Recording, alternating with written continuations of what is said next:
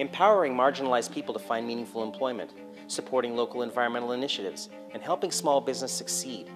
These are just some of the reasons why I believe Vancity is so important to our community.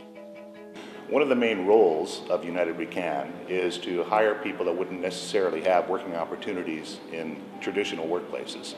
And with Vancity's help, we're able to hire more than 100 people. And that works out very well in the entire community. With Vancity's actions and associations with groups like the Global Alliance for Banking on Values, you can just tell that Vancity truly wants to make a positive difference in the community. And I think that's venerable, and United We Can is looking forward to working with Vancity well into the future. I want to help Vancity move forward to set the example for all financial institutions. Please join me.